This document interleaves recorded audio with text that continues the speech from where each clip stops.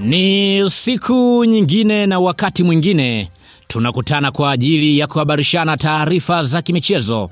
Mimi ninaitwa Chicharito JR. Hii ni Swahili Media. Huko Instagram natumia Chicharito JR Presenter, lakini pia Swahili Media tunatumia Swahili Media. Tufolo huko kwa ajili ya taarifa mbalimbali za kimichezo.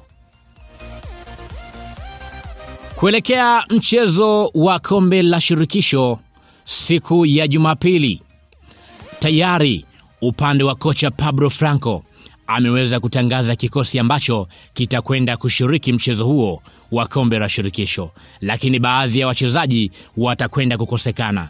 Bernard Morrison naye pia anatajwa kukosekana, lakini pia mchezaji muhimu Kratos Chota Chama hivyo naye atakosekana kwenye mchezo huo wa ligi wa kombe la shirikisho. Chama anakosekana kwa sababu tayari klabu ya RS Berkane imemtumia mchezaji huyo kwenye upande wa kombe hilo la shirikisho.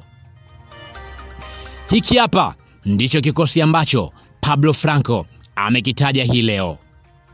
Upande wa magorikipa Beno Kakolanya, Aishi Manula pamoja na Ali Salim.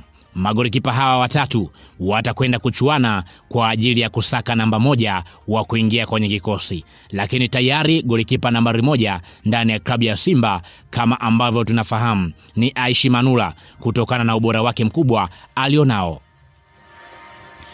Upande wa mabeki ambao watahusika pia kwa upande wa kocha Pablo Franco ameweza kutaja namna hii kwamba Israel Patrick Mwenda, Shomari Kapombe, Mohamed Hussein, Gadiel Michael, Pascal Wawa, Kennedy Juma, Joash Onyango pamoja na Henok Inonga.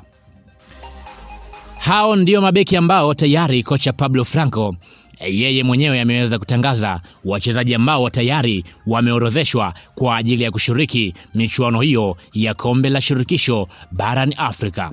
Upande wa viungo wa katikati, yaani Mzamiru Yasin kama kawaida, Jonas Mkude kama kawaida, Sadio Kanuti. Hao ni upande wa viungo wa kabaji, lakini kutakuwa na kiungo mmoja mchezeshaji ambaye ni Ral Bwalia. Tunafahamu upande wa Chama tayari yeye alishacheza, alishawekwa jina lake kama ni mchezaji ambaye atahusika kwenye michezo hiyo.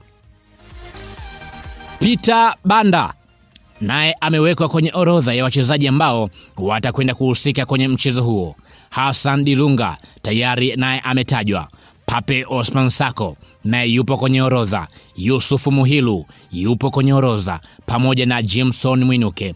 Mawinga hao watano ambao watakwenda kuchuana. Upande wa washambuliaji ni John Boko, Medi Kagere pamoja na Chris Mugaru, ambao washambuliaji hawa wamekuwa na shida kwelikweli msimu huu.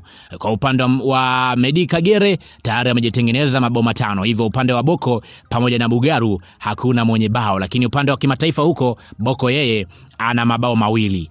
Hivyo wachezaji hao watakwenda kuchuana kabla ya siku moja ya mchezo. Kocha Pablo Franco atakwenda kutangaza wachezaji kumi na nane pekee ambao watakwenda kuhusika na wachezaji wengine ambao hawatahusika kwenye mchezo huo. Hawa ni ambao wameshasajiliwa ambao watakwenda kutumika kwenye michuano hiyo, lakini bado upande wa Kibu Dennis naye yupo kwenye orodha licha ya kuwa majeruhi, hivyo akirejea. Lakini pia Bernard Molson naye yupo kwenye orodha, lakini baada ya kuondolewa. Hawa ni wachezaji ambao tayari wametajwa kwenda kuhusika kwenye mchezo huo.